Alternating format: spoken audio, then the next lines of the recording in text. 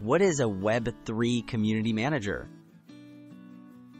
A Web3 community manager acts as a vital bridge between decentralized projects and their users.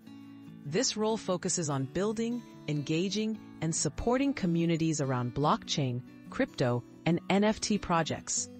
These managers not only represent projects to the public, but also relay user feedback to development teams, ensuring a dynamic, supportive environment in a fast-evolving digital landscape.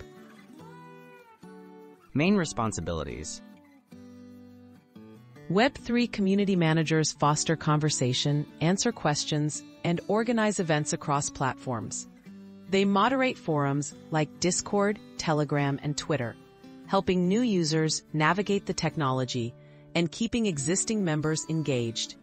They also collaborate with marketing and development teams to deliver updates, manage concerns, and ensure a positive, safe community experience. Essential technical knowledge. A strong grasp of blockchain concepts is crucial for this role. Community managers should understand tokens, wallets, smart contracts, and decentralized apps. This awareness allows them to accurately answer technical questions and spot emerging trends helping community members make informed decisions and feel confident using the project's technologies. Key soft skills. Excellent communication, empathy, and conflict resolution are top soft skills for a Web3 community manager.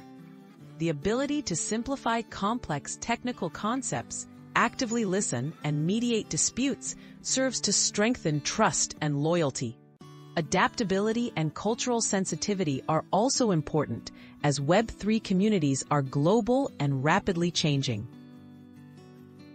Pathways to becoming a Web3 community manager.